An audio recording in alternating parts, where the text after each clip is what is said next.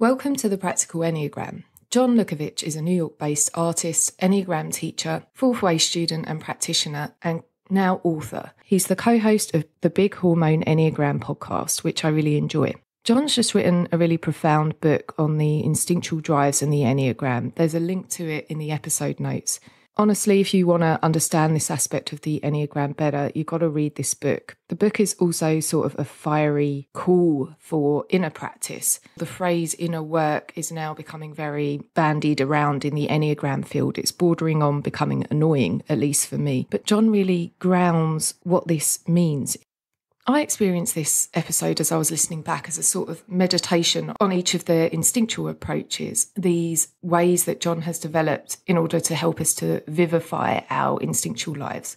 You can also just listen for the way John and I are communicating. So, in Enneagram terms, John is a sexual type. And for me, at least, there's always this unsubtle provocativeness to sexual types, which personally makes me sit up and pay attention. I notice that with other teachers in the field with this drive dominant, I can learn a lot from them because I can keep my attention on them. My self preservation dominance is probably a lot less um, noticeable, but for me at least, it's woven into the production of this podcast. It's fun to listen for clues for people's instinctual preferences as I move through life these days. Now, if you'll excuse me, I'm off to do a pelvic dance to Pony by Ginuwine. I hope that you get as much from from hearing from John as I did.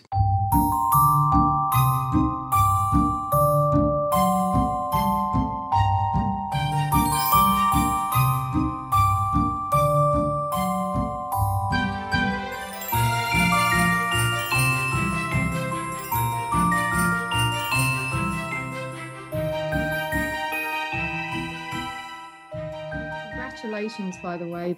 I think any book is like a war. It's like a war on everything, your attention span, your resistance. Absolutely. Yeah.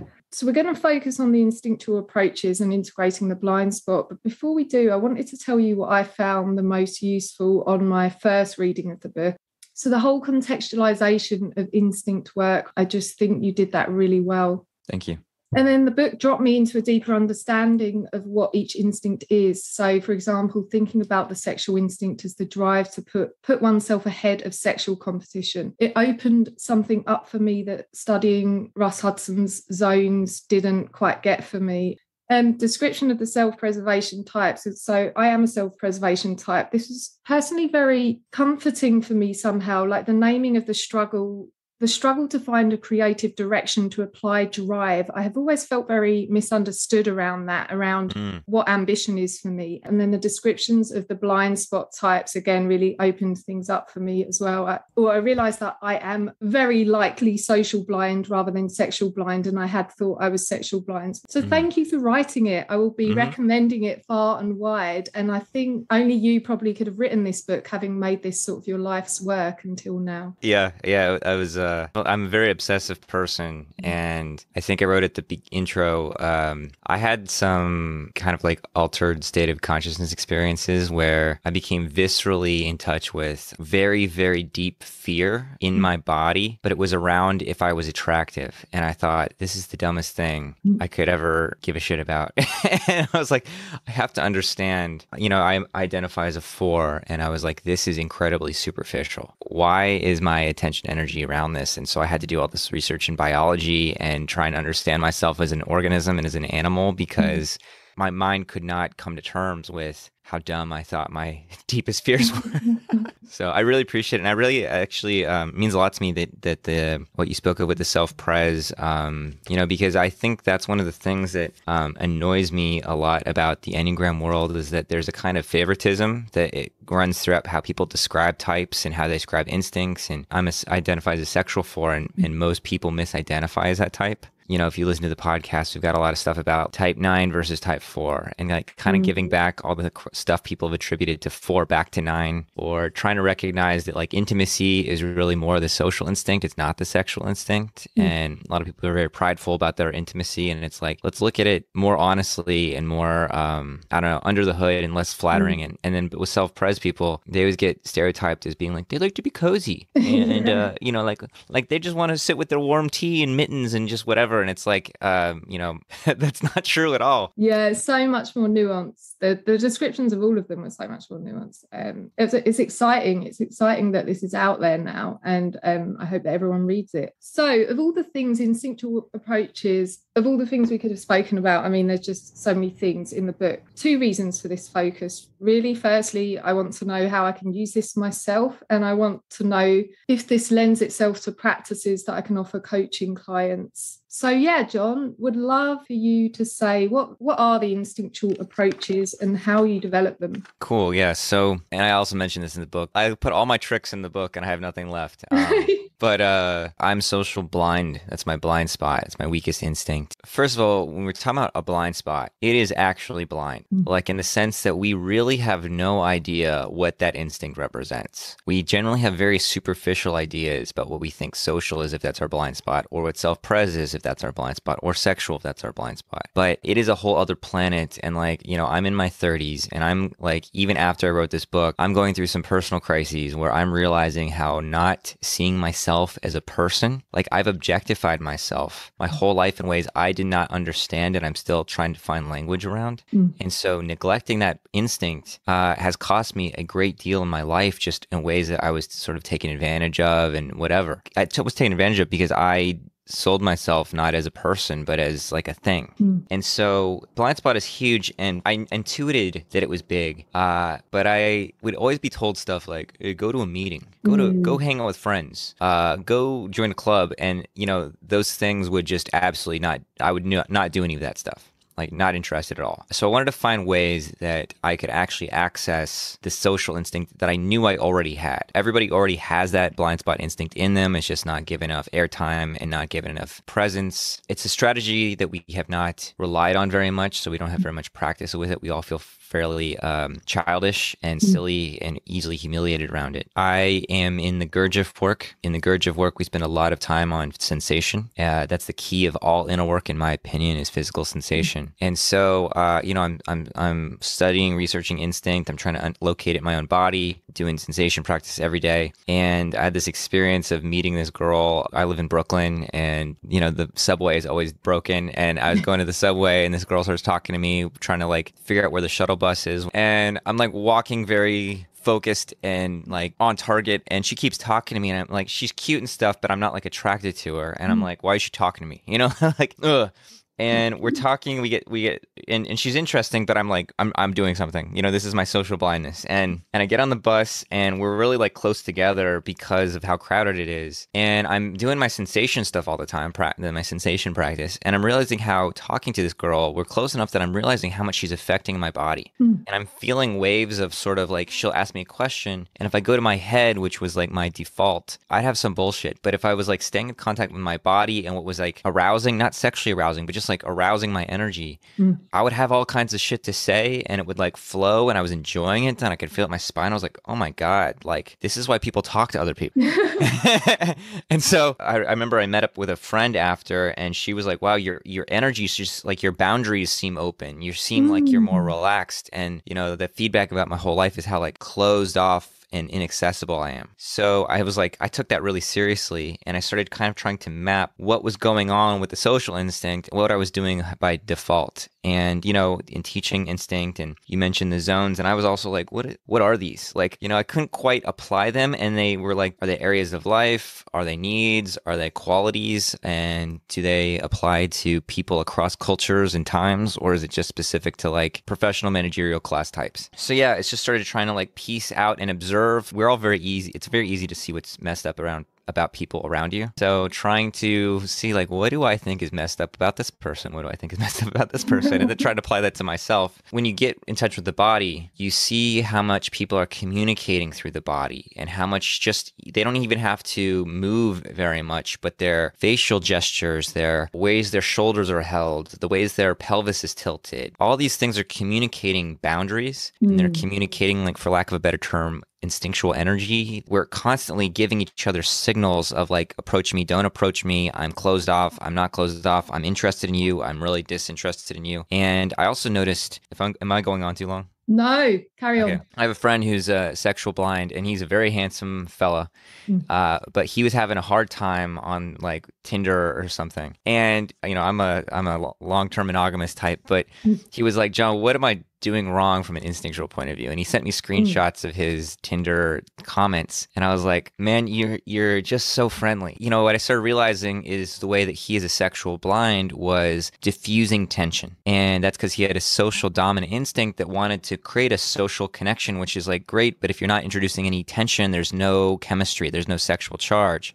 Hmm. I was like, oh, that's really interesting. And I started noticing my sexual blind friends, like they drop the charge because the charge functions to polarize, right? Mm-hmm. Like to create sexual tension, it's like you have the, the possibility of coming together or repelling. And you have to really accept the repelling. And if mm-hmm. your social drive is stronger, it's going to be harder to accept that that necessary repellent quality that mm. the sexual drive comes with because you're not trying to connect with everybody. You're trying to get a specific kind of energy going. And so I was like, all right, how do I talk to my friend about how he's talking to girls on Tinder? How do I talk to somebody else who's social blind who feels like as um, totally dumb as I do? How do I ch- talk to a, a self-pres blind person and not make them feel childish? You have to draw on what we've already got. You have to mm. draw on the instincts that we already have. And the approaches are my best attempt. You know, they're using language and kind of speaking to the mental center about the body center to try to get some texture and try to get people to have an expanded vocabulary around what could be going on in the body underneath their habitual awareness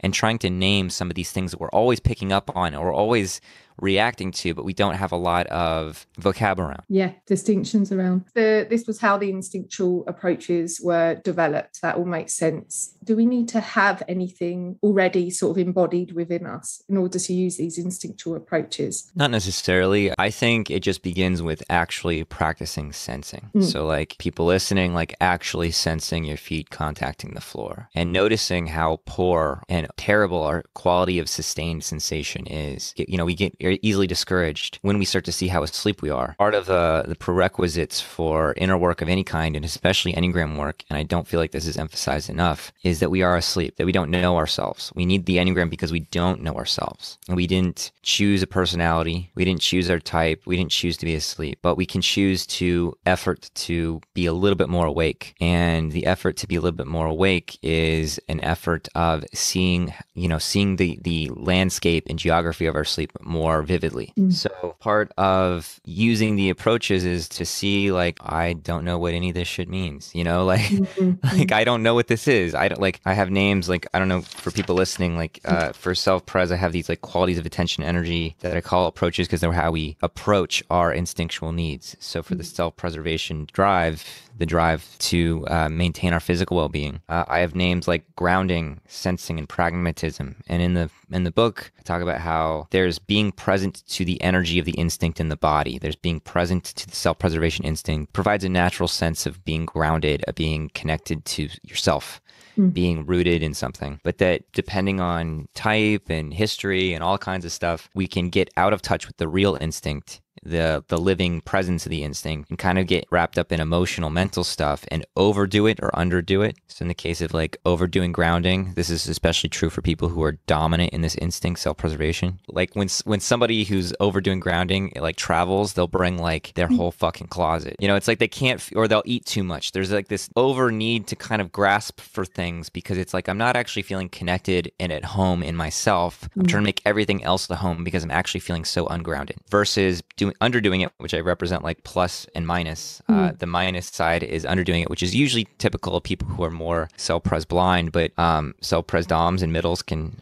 can have this too. They can just be ungrounded, frenetic. Their attention's going everywhere. They can't hold their focus on anything, and they're they're kind of bouncing all over or f- spacing out or whatever. And they're not connected to their own bodies. And so all it requires to start looking at these is to actually sense yourself, to actually check in with your own body, to actually start to um, to understand the difference between being present and not being present. And that difference is very very easy to convince ourselves that we understand. No matter how far along we are in some spiritual path or inner work or psychological work, never take for granted that you're awake or that you're not not in your trance. Like that's the thing that people start to lose as they they do a bunch of workshops and inner work groups is like, oh yeah, I know how to be present, and it's like if, if you're taking that for granted at any time, don't know what it means to be present. And so this is just like you can begin using these approaches as as just sort of like I'm I'm inhabiting my body and I'm I'm sensing this, I'm sensing this, I'm sensing this in response to that. Just kind of started taking inventory of what I am what I'm sensing, what I'm not sensing. Everybody has these three instincts in them and they do they do all these um these approaches all the time, but there's ones that like barely get any airtime, any practice. For me, um, and I have this whole thing in the in the book about how the blind spot instinct seems like a threat to our dominant instinct. And so I'm a sexual type with a self preservation middle instinct and a social blind spot. And so mm-hmm. the approaches of pursuing magnetism and intensification, my personality is identified with doing those all the time. And I have to be doing them or I don't feel like me. It's mm-hmm. like not even just I'm not going to get my needs met. It's like on a deeper level, I don't even feel like John unless I'm doing them to some extent. And to do them because of my instinctual pri- uh, order, my instinctual stacking, being available, mm. uh, signaling, and navigating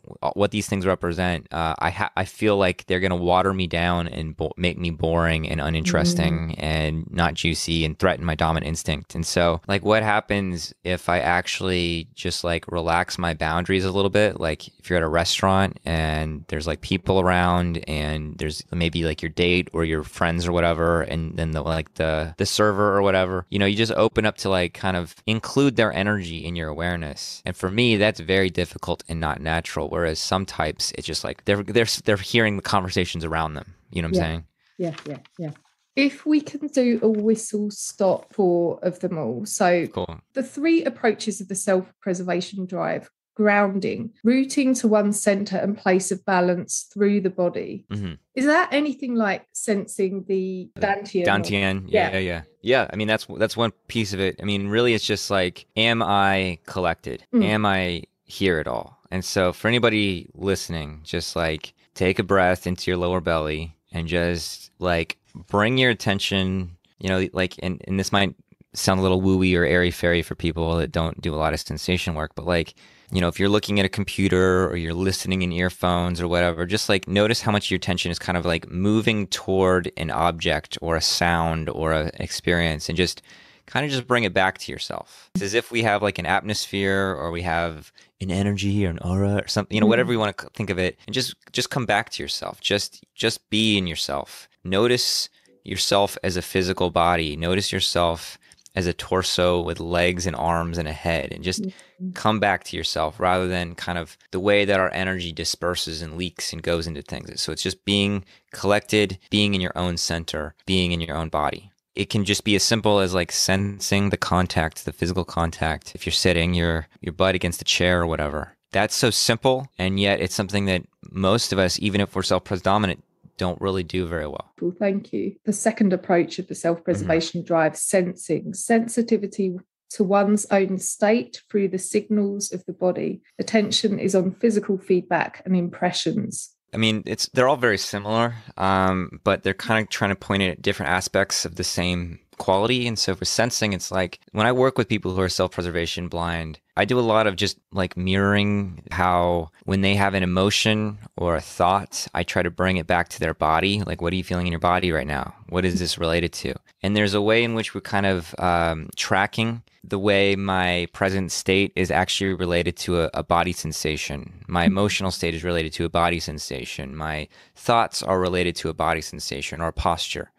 And so this is taking that grounding principle and just sort of deepening it with like rub your hands together like you're you know like just just rub them together and then like rub them harder and then stop and like just sense. Actually it's not just even some sort of vague sense of being here or present. It's like are you literally actually sensing the impressions on your skin? Mm-hmm. Are you literally sensing the impressions within your gut and your belly, your stomach? And are you li- literally sensing the impressions of, of how it feels to breathe? Tracking and, and, and creating like a connection between what seems to be going on, like, quote, out here and what's going on inside the body. This is something that self preservation people do selectively I'm very present to my hunger or I'm present to my yeah. stress or I'm present, but maybe I'm not so present to the physical sensations of anxiety. Like mm. I might just be ca- caught up in my thinking about it. Is it, is this making sense? It does. It makes complete sense.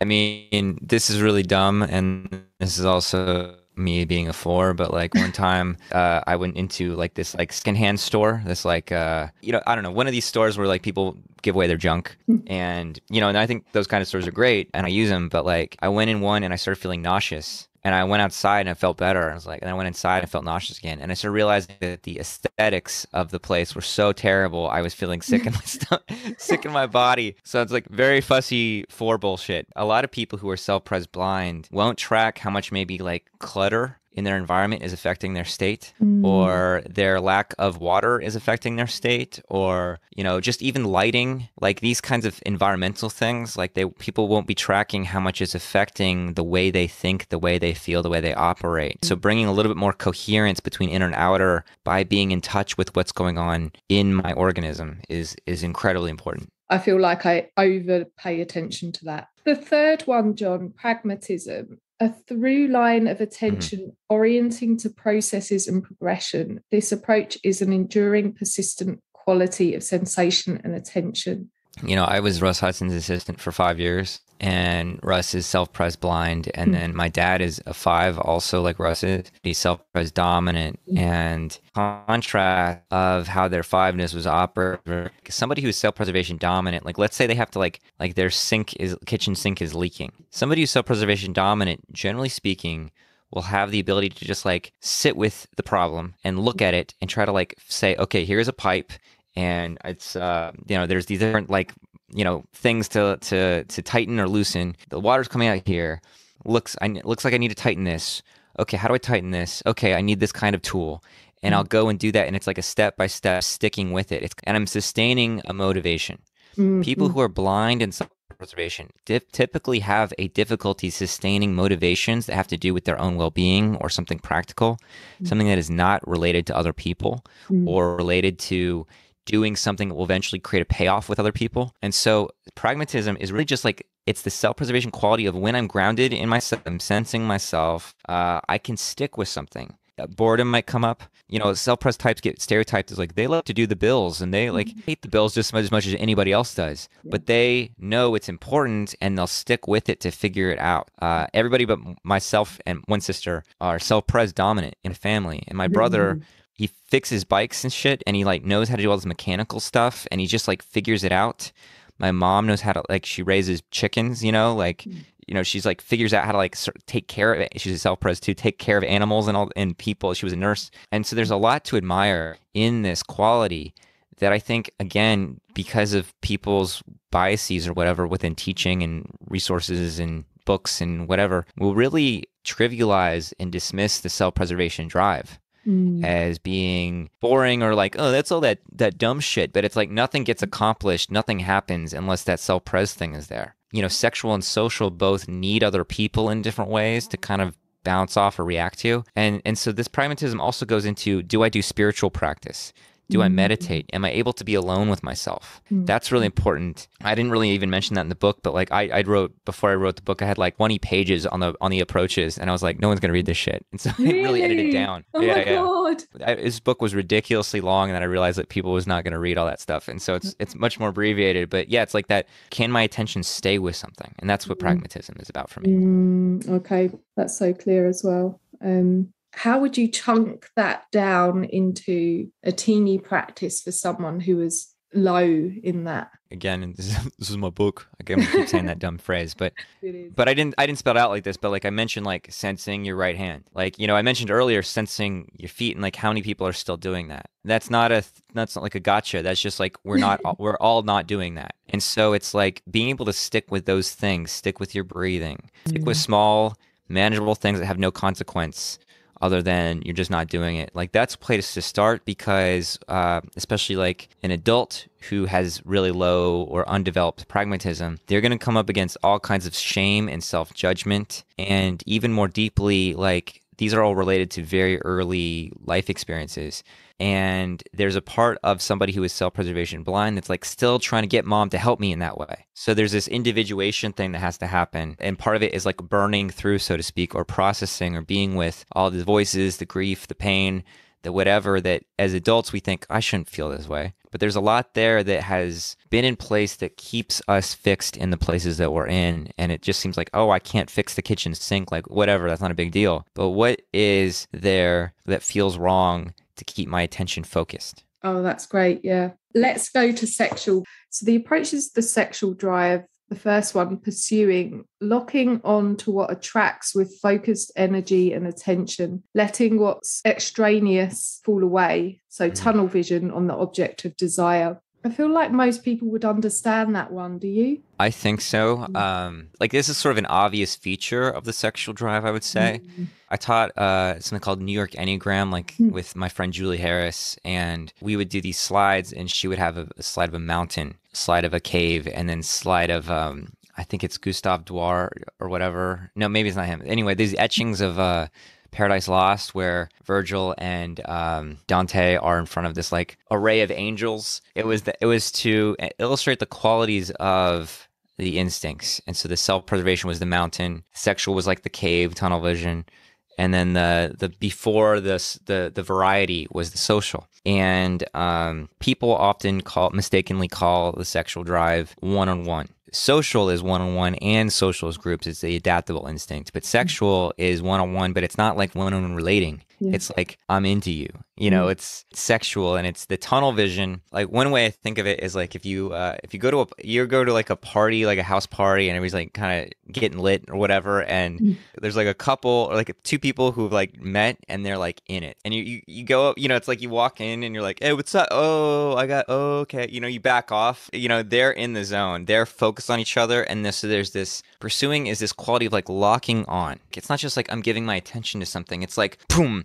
and it's excluding things. Our blind spot is sexual. Like we might have some access to this, but this sense of excluding or cutting other people out feels a little bit rude or it feels like I shouldn't do that or it feels like I'm inconsiderate or it feels like I'm being creepy if I'm too too much employing this. But somebody who is probably a stronger sexual, you know, there's just this like boom kind of you're the you're the juicy thing my attention is on you and it's expelling other people every everybody else feels like a bush in the way of the the, the object. When this gets, this gets negative, it can have kind of a vampiric mm. predatory quality. So it mm. really important to like with the sexual drive really having that in tandem with the social instinct and the self-present instinct. So being grounded and being available and like reading the person as a human being, but also being like, "What's up?" You know.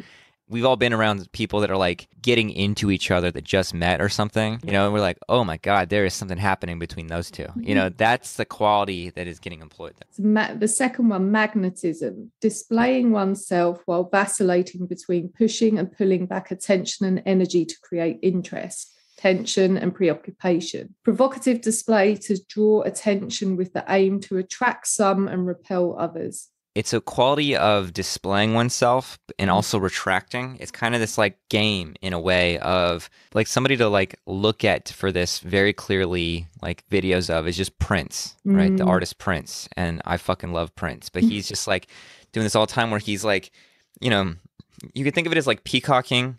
Mm. Um, that's a little simplistic because a lot of people, you know, whatever, but you know, there's a way that it's like this dr- dramatic presentation and maybe like pressing on you and it's similar to mm-hmm. pursuing but it's like i'm pressing my energy against you it's there's something assertive or aggressive about it in a certain way like it's not like hey this is me nice to meet you it's mm-hmm. like putting my thing out there real like a mating dance kind of thing and then pulling away and like inviting a vacuum so to speak in an energetic or attentional vacuum that somebody else wants to kind of like come in or meet you at so like um if you're flirting with somebody and you give them mm-hmm. really intense eye contact and then you just like fucking ignore them for a second and then you go back to them and it's like you know this can get into like you know maybe negative manipulation yeah. things but in a in a real flirt flirtation that's genuine there's this kind of play of like what are they doing? You know it's like this and it's like exciting and it invites if it's just too much like hey it's really i really like you it's kind of boring. But if there's this like tension build up that's what it's about. It's like pressing your your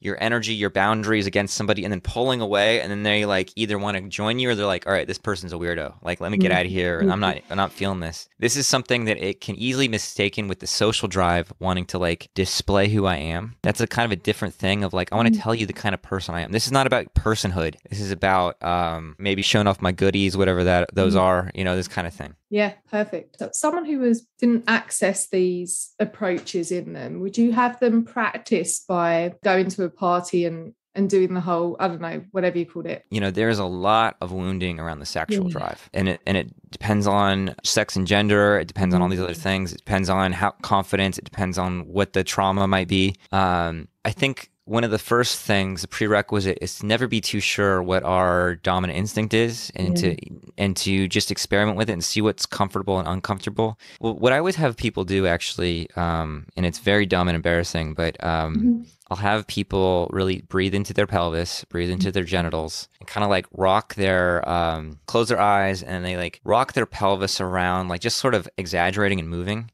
Mm-hmm. I find men, especially, are like fucking not in their pelvis at all. Really crazy. It's I love to dance, and what I notice like teaching male friends to dance is like they they can bounce, they can shoulder, they can bob. Mm-hmm but just really getting in the in the pelvis is very uh, difficult. And like I know my ladies out there uh, complain about how bad a lot of guys are in bed, and it's they're not in their bodies, and it's sort of like the pounding, like kind of quasi porn thing. Mm. Like you need to kind of have like a feminine energy in your pelvis in a certain way, contained mm. by your masculine energy. You know, there that, that like there's a kind of like a, a, lack of trust of my own physical body when I'm rigid in the pelvis, especially as a man.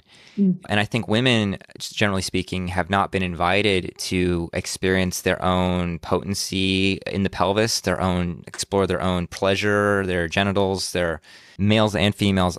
You know, I don't know the female experience, but at least what I understand from friendships and stuff like this is, you know, our genitals are sense organs in the sense that we are getting data about how we feel about other people through our genitals reactions all the time. Yeah. Whether we're attracted to somebody, there might be even more information out there coming from the genitals, but like our genitals are responding to people. And one of the things that happens often is that we often form intimate love, romantic relationships with people that we have a good social connection with. We have a not, we're not actually attracted to uh, or vice versa, we're attracted to them, but there's a really poor social th- connection. There's lack of respect. There's a lack of seeing the other person. And so, how do I bring awareness there? It's like, a, you know, you need to do a lot of breathing, a lot of moving, practicing moving. And then I, I have people imagine that their pelvis is like, um, I think my friend Sherry Fox helped me develop this, so I want to credit her. But uh, like a like a bowl, like your pelvis is a bowl with a ball in it, a bowl ball, bowl ball but with a ball in it and it's like you're trying to move the ball into in around the bowl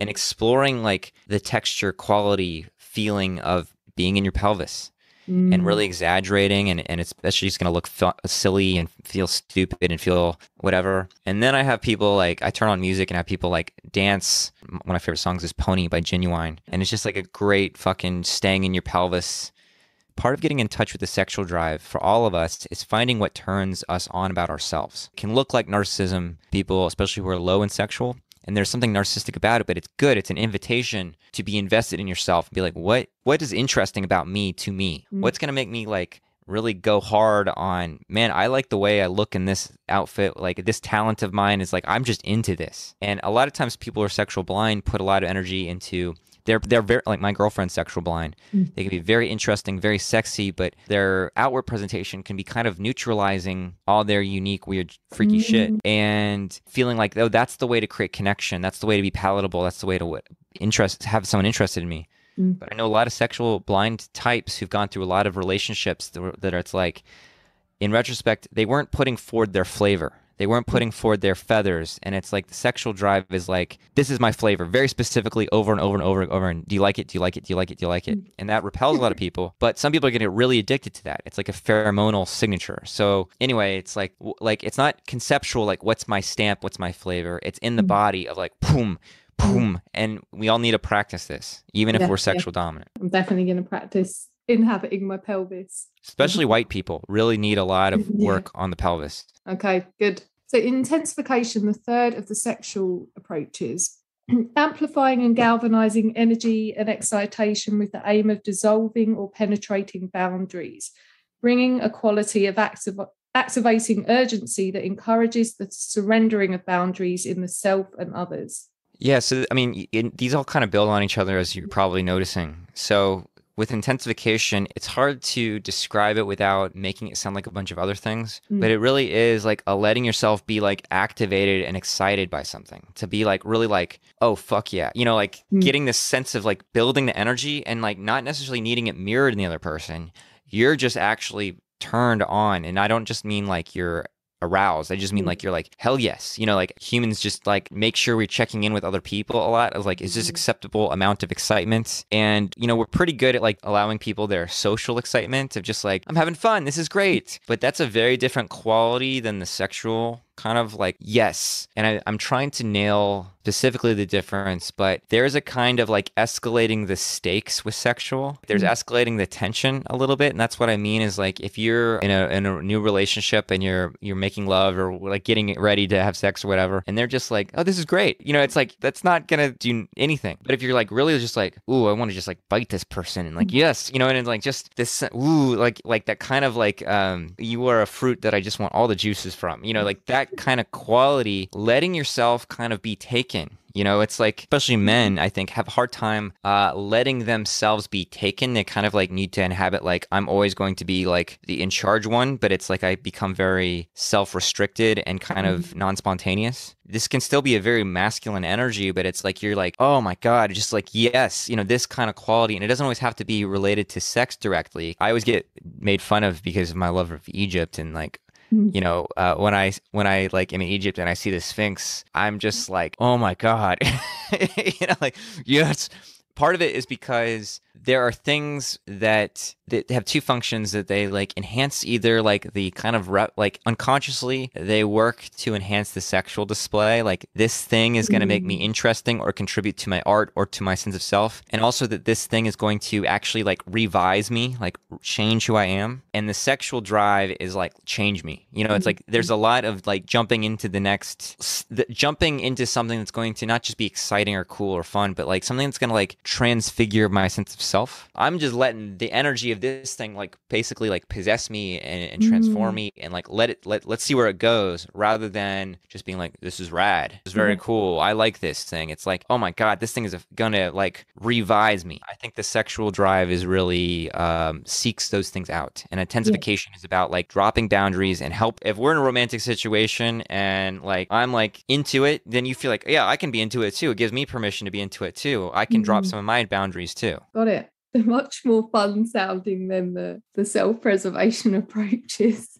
I spent my year being in shame over have, being sexual blind because that's that's what I thought. I, I, was going through this training with I don't know if you know Russ Hudson and Cheryl Richardson, the coach. Mm-hmm. They're leading this year long mm-hmm. training, so I've been doing that. Yeah, and honestly i think i think this is second for me but i still recognize ways in which i temper mm. myself i mean i don't i don't let myself do that yeah yeah i mean i you know i think we have shame around all three instincts but mm. especially around like like and this one you know this is pretty loaded and um it's really normal to feel boring you can feel yeah. like like frigid you can feel like everybody else is having a better time than me you can mm. feel like i'm not interesting you can feel like no one would really want this kind of flavor I've got. You got to kind of like smooth my edges out because like uh like this is this about me is like really shitty or undesirable or this or this. Like I said, uh my my girlfriend uh is sexual blind and she is you know the juiciest thing I've ever experienced in my life. And it's it's really fun. Like you know she's Puerto Rican and so she mm. has um she has curly, really super curly hair, mm. like big, just enormous hair. And she used to straighten it because she was sort of feel like you know she had to kind of you know she grew up around white people and she had to like yeah. like straighten it and stuff like this. And and first time we were together, uh, I saw like her her curls came out a little bit, and I was like, what is what is hello, you know what is that?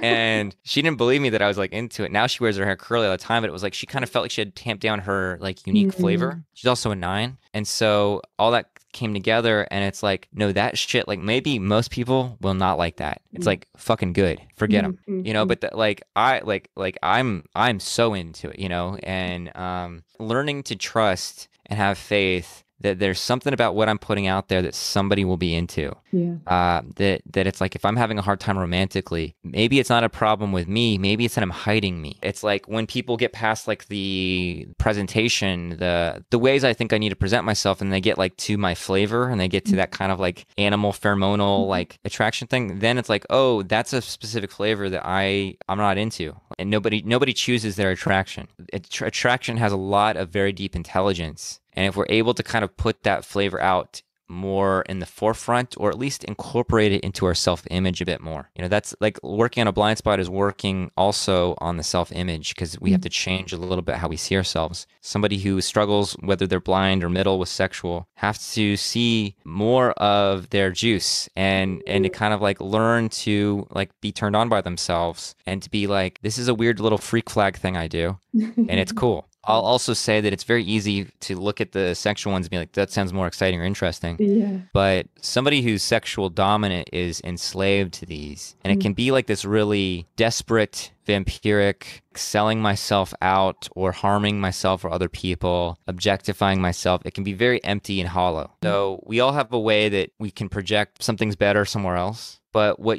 what like you might be responding to is like man i might be more interesting if i included these things like i'm getting turned on baby by the thought of how i might be if i did x y or z you know i don't find uh sexual types more enviable because it's like i don't know suffering is everywhere No, totally. I am. Um, I never think others have it easy at all because it's it's just never true, is it? Um, let's get to social. So the first approach of the social drive availability, opening personal boundaries to invite and receive others. Attention is fanned out outward and open with receptivity to who or what enters our field of attention. It includes being receptive to the inner life of others. Yeah, so before I started working on this, like I would have thought I was a pretty um maybe not open person, but I would Mm. have thought that I really like saw people and then I, I realized like I'm like profoundly cut off and I'm profoundly like my boundaries are just like really just a giant like exoskeleton middle finger that is just like stay away from me and I would go. Um, I remember a couple of dinners with like going out to dinner with like a, a, diff- a social type, and they were just like so wide open that anybody that walked in our field, it was like their attention would go to this person, and I was getting really frustrated because I was like, I'm trying to have a conversation with you, Yeah. and you're like like trying to press the small A or whatever, you know, and it was like it's very annoying. And so I was like, what is this person doing? Uh, as a as a very fussy four, I'm like, what is driving me crazy about this person?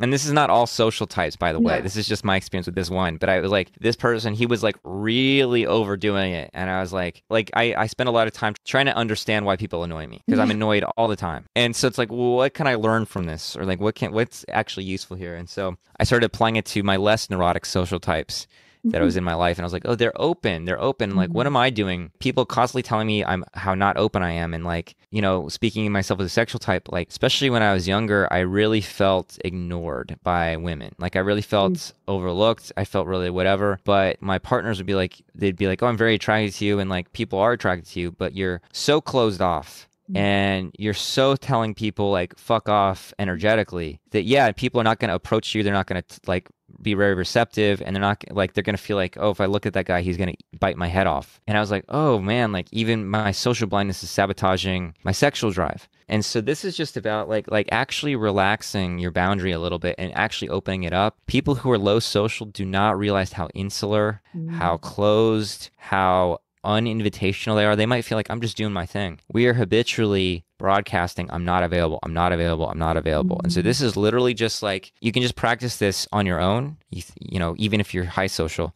Just like see if you can sense boundaries behind you, like uh, physically behind yourself. Like open your boundaries to just being available to like presence behind you or lack of presence behind you, if that makes any sense. And you start realizing your habitual direction of attention and energy. Somebody who is maybe social dominant but self self pres blind, they might be like an Oort cloud that is like available to anything that might be coming into their atmosphere. Whereas somebody who is self uh, social blind, they might have a very limited, dense atmosphere that nothing comes in. You know, from the point of view of not just like oh I need to grow, but just from functioning and being like uh, having relationships, learning how to just like open and relax the boundary is a huge deal. Yeah, yeah, yeah, yeah. I have also overestimated the extent to which I make myself available available to others. Yeah, yeah. So there's a there's a way that we can be overly available to people such mm. that we don't focus on our own stuff. Mm. We don't mm. develop our own independent interests or time alone. And then there's other ways that we can, especially if we're low social, that we get greedy about our time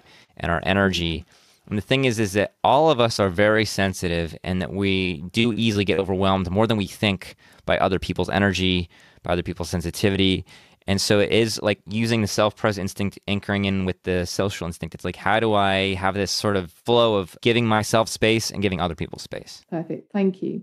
Signaling the second approach of the social drive, sensing one's impact on others and the flow of exchange. This also involves conveying feelings and intentions appropriately to the situation via body language. Yeah, so this is another thing I started to notice is that people would like as a social blind, I was like, people don't understand how I feel. Like mm-hmm. even when I think how I feel is clear. Like if I like them, they probably don't know I like them because mm-hmm. I'm not giving them a lot of gestures. I'm not giving them a lot of facial expressions or verbal affirmation, and I'm not conveying much about myself. You know, I have I have like a, a shirt on with a graphic, but mm-hmm. generally I'm just all in black, so I'm not signaling anything about myself other than like sexual stuff that I'm like be interested in like my tattoos or whatever. But I'm mm-hmm. not like this is the kind of person I am. There's no like LinkedIn energy, you know? And so it's like sig- signaling is a little bit about like like how do I like and I'm I'm learning but I always feel kind of like a uh like I'm a, a, some kind of alien creature wearing a human suit that's like learning how to smile. And like this is a smile this is this is smiling time. This is like nodding you know? And it's like they're all skill like I had to develop but like I used to just be like you know just like very uh stone faced unless I was like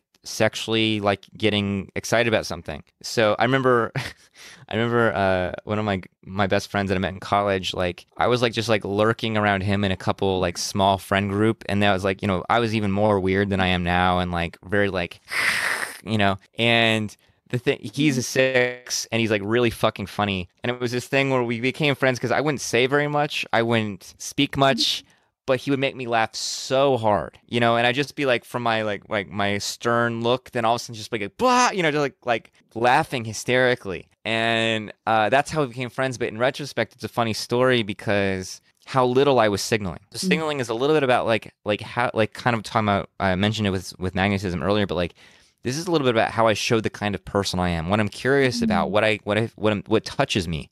Mm-hmm. Like, and I'm I'm putting a little bit of effort in to show you that something has touched me. Mm-hmm. You know, some people mm-hmm. can overdo it and it feels a little bit insincere, and but they're trying to communicate. And so this is like this is trying to communicate, and it happens through the body. It's happening through body language. Like, and so this is mm-hmm. like having some kind of a body awareness in terms of how it impacts people. Okay, that's really clarifying, actually letting other people know who you are linkedin energy like this is not just linkedin energy but like no, sometimes no. it you know like that the whole point of linkedin is like to show like who you yeah. are or something you know anyway mm-hmm, mm-hmm. the third approach of the social drive navigating sensing the layers boundaries and nuances of social environments and circumstances this brings texture to social context which helps us to recognize the mechanics of interpersonal dynamics knowing one's place role or relationship within them mm-hmm.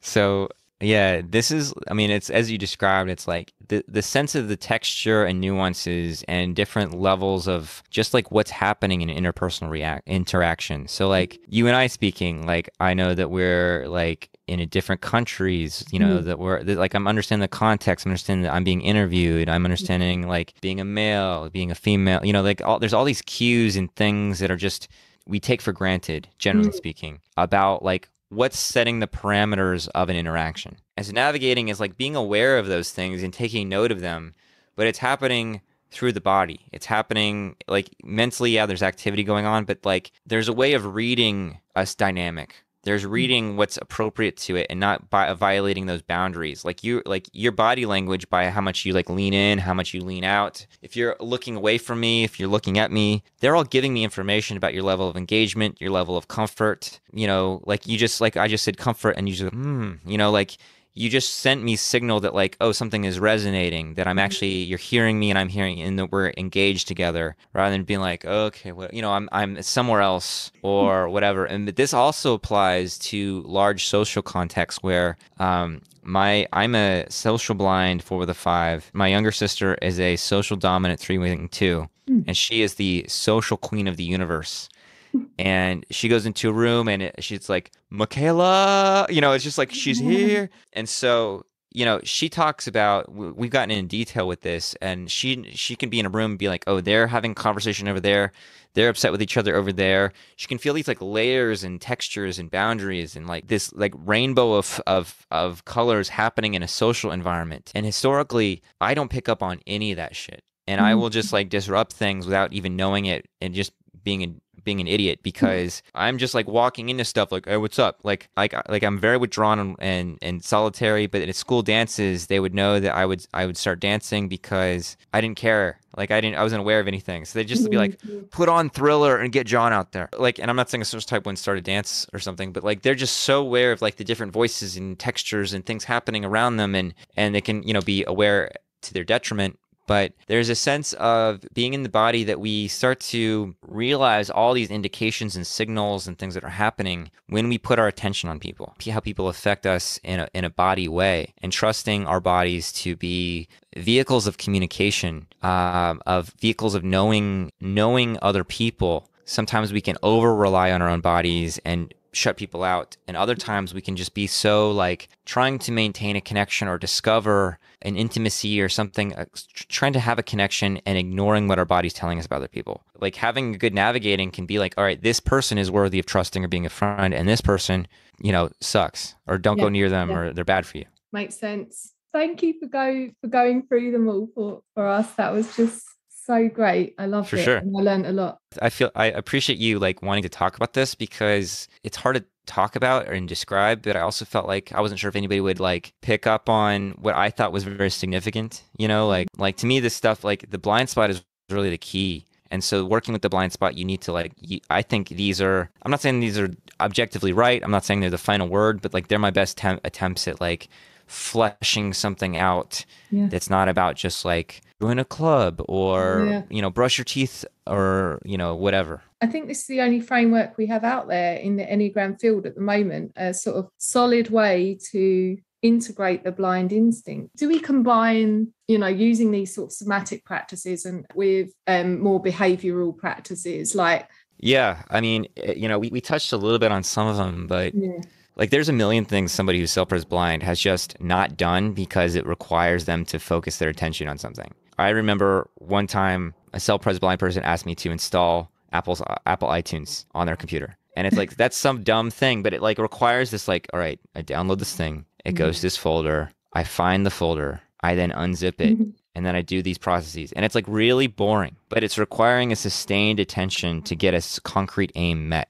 You know, like cooking learning to be present to cooking is huge and it's actually something in the gurdjieff work that's you know like if you get into the process enneagram the mm-hmm. original enneagram you will run into a million metaphors of cooking in the kitchen transformational alchemy of food and and and the way that that leads to a meal because that process of transformation of taking a raw material into a refined material mm-hmm. is so basic to every ancient culture when when they do food offerings they don't actually think like spirits or something are going to like eat food mm-hmm. it's about the feeding from the energies of transformation that lead a crude material into a refined material that kind of practice of just like cooking and noticing like the impact of heat the impact of something a new new thing being applied to a process for a self-pres blind person doing a process like fixing the sink they get to that first point of resistance, that point where new energy needs to come in, and they're like, "Oh, I got to call my mm-hmm. super. I got to mm-hmm. call my neighbor. I got to call my friend." It's like just fucking just stay with it and something will come in. You know what I'm saying? It's like that new energy will come in and you'll like know what to do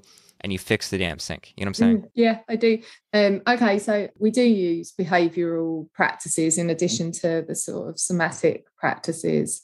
Right. And, and I guess it, all of this has to be customized, doesn't it? It depends whatever what what the goal is. Um, depends on the circumstance and the type yeah. and all that kind of like so like with sexual if you're already in a romantic or sexual relationship, you could look at like how you actually uh, are sexual with your partner and like how much you're actually sensing yourself during sexual acts, how much you're actually sensing your partner like how actually turned on are you by your partner? Mm. And you know, there is the thing of like, yeah, you can't have everything in a relationship, but how much are you also kind of like shoving off the table to Mm. like make something work or trying to make maybe a social relationship a sexual relationship? How much are you comfortable with like putting your flavor out there and like flexing or whatever it is that's like Mm. going to entice and turn your partner on? And how much are they turned on by you in a genuine way? Like like something that um I find that a lot of people suffer from is that when the relationship starts, there's a lot of chemistry and a lot of whatever, but then it quickly stops.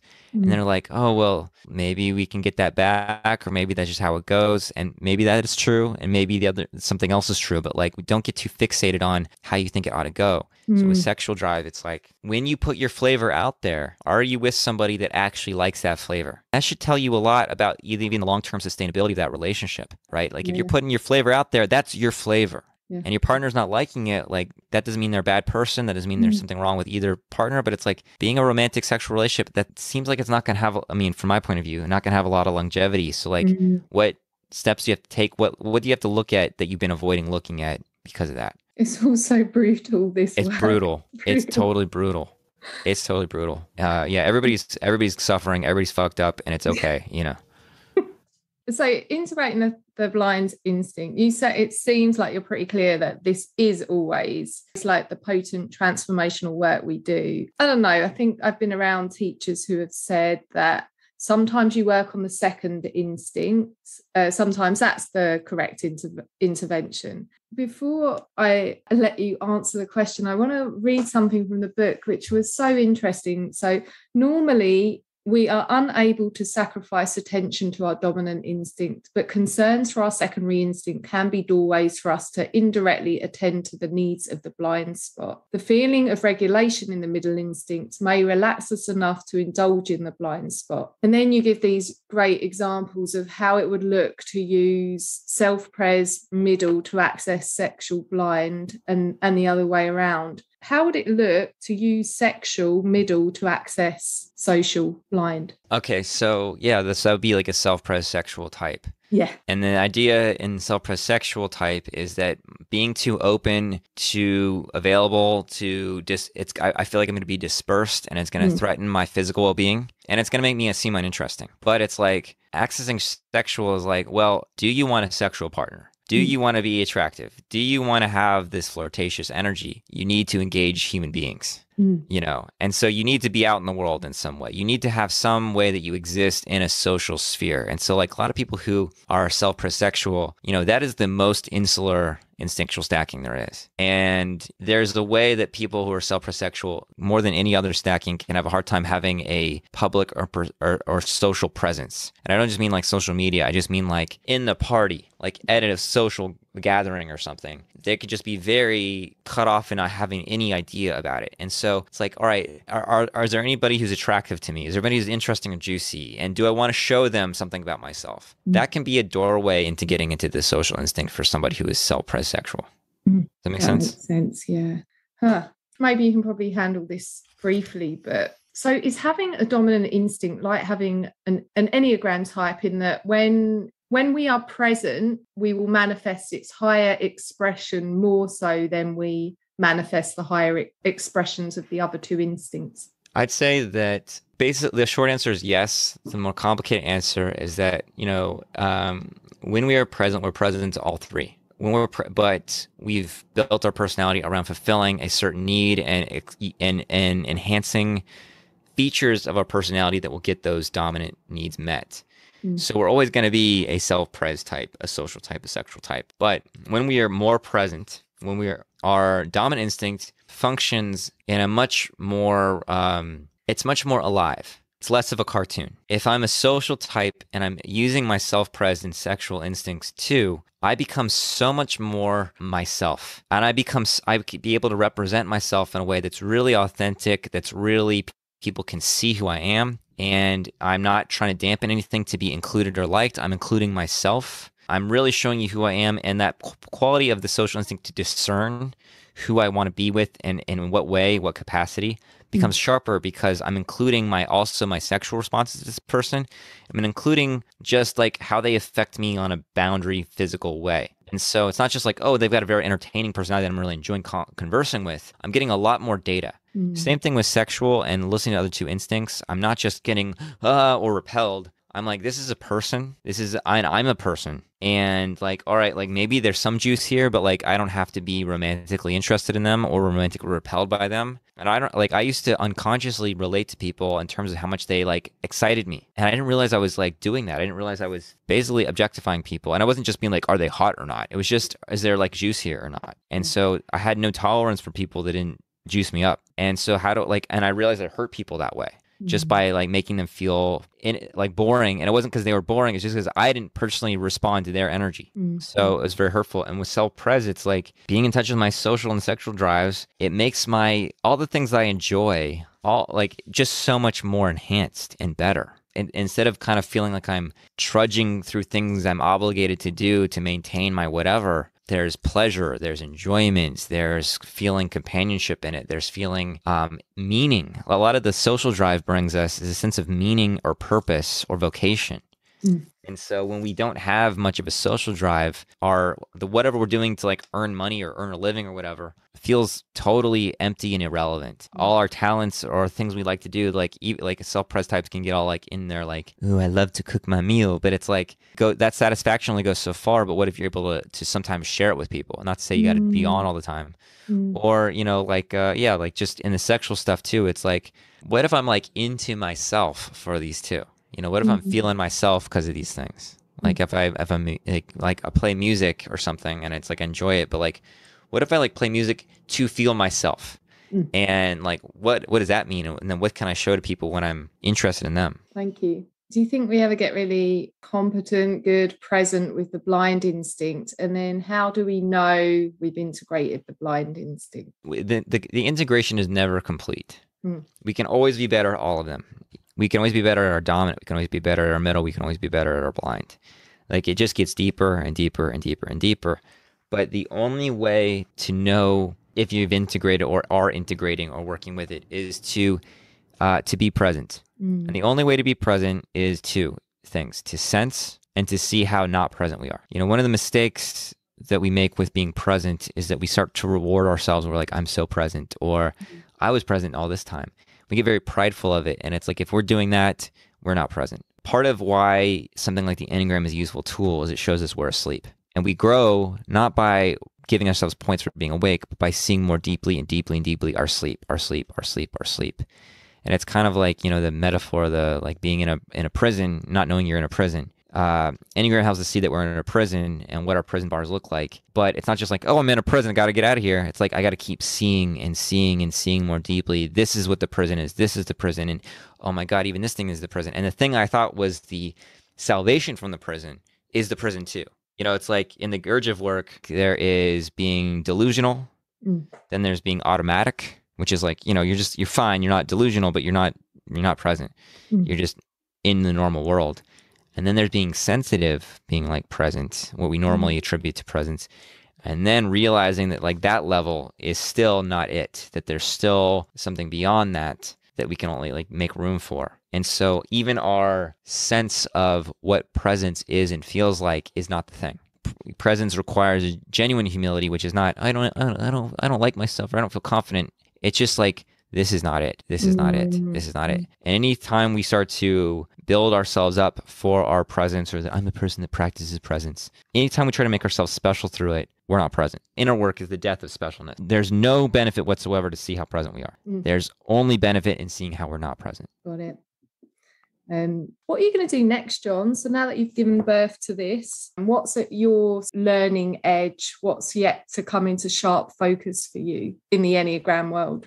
Gosh, so yeah, that's kind of the thing is like I, am a little burned out from this book, Mm. um, and it took a long time. Um, Was it years? How long did it take? like five or six years from beginning to like I when I started I thought like oh I know the enneagram I know the instincts I'll just get this out in a, you know and then I'll get to the real stuff Mhm. and you know and it ended up like because like the book is not really about the instincts for me it's really about like what inner work looks like in the Mhm. first stage of inner work the first real stage like in Sufism they have the fanaz the you know four fanaz and like e- this is like the how I understand the prep work for the first fana so to speak. But um, what's next is like, you know, I'm like I mentioned Egypt. I'm interested in the origins of the Enneagram and the origins of the Western, you know, all, Gurdjieff, all that stuff, Western spiritual tradition, um, going back to ancient Egypt. That's a whole thing that I want to understand, like Neoplatonism and all this other shit. Uh, I was thinking about doing an actual beginner's book on the Enneagram. There's way too many, but I don't like any of them, Yeah. you know, like a real basic how I would do it, beginners, and uh hopefully using humor to make fun of the types too. I get a little tired of like the self help lingo and stuff. Mhm. And what if I just roasted the types? And then another one is like, you know, part of the Gurdjieff thing is there's the higher intellectual center and the higher emotional center. In the book, I talk about the virtues, is, which I think belong to just the normal emotional center. And Mm. so, what is the higher centers? And then finally, on the podcast, we've been working on this like object relations, hexad attachment thing, and understanding it from from like a whole new fucking level.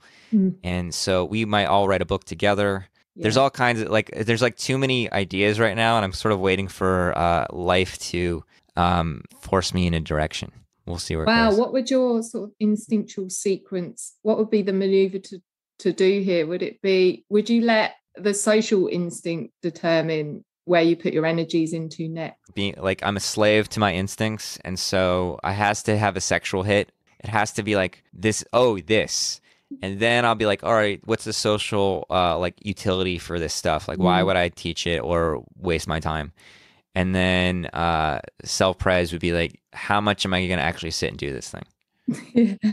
Okay, great. All right, thank you so much Cool, for thanks, this and for your time. This has been so great. Um, all right, I'm going to hit a stop. My next interviewee is Dr. Janeshri Govindasamy, and we're going to be having a conversation around presence. Don't forget to subscribe, rate, review, and yeah, I guess have a good Christmas.